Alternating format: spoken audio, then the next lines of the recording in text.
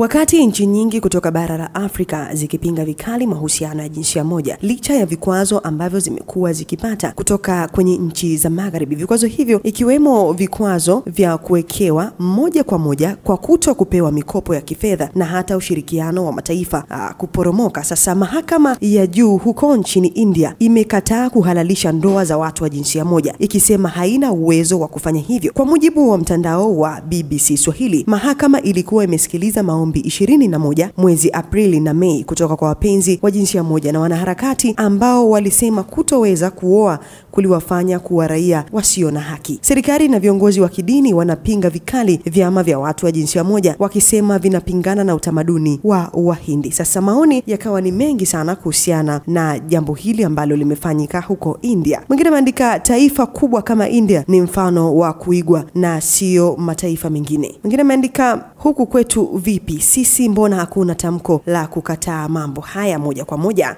Mwingine ameandika watu wa jinsia moja bana, akaweka na emoji fulani hivi za kushangaza. Mwingine ameandika mimi naomba kuuliza sasa, hizi ndoa za jinsia moja lengo kubwa ni nini? Yani mdau mwingine akaongeza kuandika mambo ya kutisha mno jamani. Mungu alimuumba mwanamke na mwanaume, yeye ndiye aliwaumba. Sasa habari za kupitisha pitisha mambo mimi sielewi jamani. Mwingine akaandika safi kabisa, ibaki huko huko walikoanzisha. Mwingine akaandika good India, I like it. Mwingine akaendelea kuandika safi sana India, hawa wengine hatuwaelewi. Mwingine akaandika Mungu kaumba mtu mke na mtu mme, basi hakuongeza vitu vingine. Sasa mtazamaji wa VOT Media, nini maoni yako kuhusiana na jambo hili ambalo mahakama ya India kukataa kuhalalisha ndoa za watu wa jinsia moja?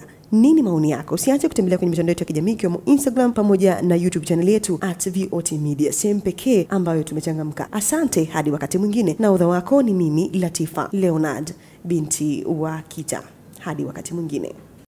Habari njema ni kwamba siku hizi Watanzania wanajua vitu original grade A kwa ajili ya afya na siha njema. Wajumbe, Mama Sabrina Fashions ni wauzaji wa mazuria, mapazia, mashuka na mataulo. Sijasahau Crocs, neti, bed cover, sofa cover, maforonya na vitu vingi. Wajumbe, wanapatikana Posta Mwanza, mtaa wa Kaluta. Kwa mawasiliano zaidi wapigie kupitia simu nambari 0754749725 au 0754697345.